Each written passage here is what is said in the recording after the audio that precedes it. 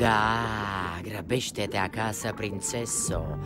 Nu vrem să pierzi aniversarea bătrânului tău, tată, nu-i așa? Ha! Halal aniversare. Tu trăiam în palat. Uită-te la mine? Nu mai sunt nimic din tot ce-am fost. Izgonită, exilată, moritoare de foame. Prește cu peștii lui de doi bani Bine, o să le dau eu motiv de sărbătoare. În curând. Flotsăm, gețăm! Vreau să o țineți sub observație pe micuța lui fică. Arbia distrugerii lui Triton. Nu, nu, nu, nu, nu, nu, nu pot să cred. E prea ușor. Copila s-a îndrăgostit de un om. Și nu de unul oarecare.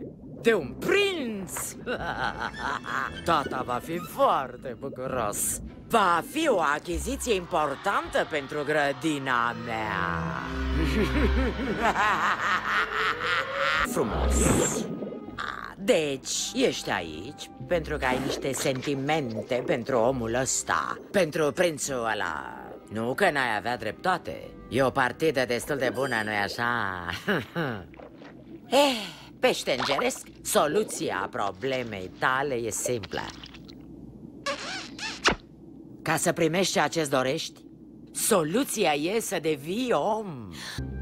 Draga mea, copilă scumpă Cu asta mă ocup. Pentru asta trăiesc Să-i ajut pe nefericiții oameni ai mării ca tine.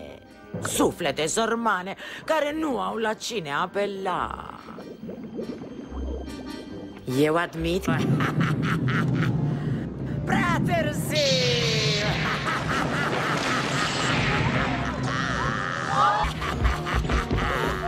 Adio, îndrăgostitule Ariel! Să nu pe tine te vreau Am un pește mare de prăjit Ursula! Segele Triton Ce mai faci?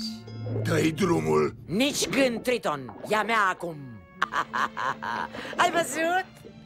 Contract legal, obligatoriu și nu poate fi modificat, nici măcar pentru tine Desigur, mereu am fost o fată în căutare de echilibriruri Fata regelui mării e o marfă prețioasă Dar aș fi dispusă să facem un schimb Cu cineva mai important Cuteci!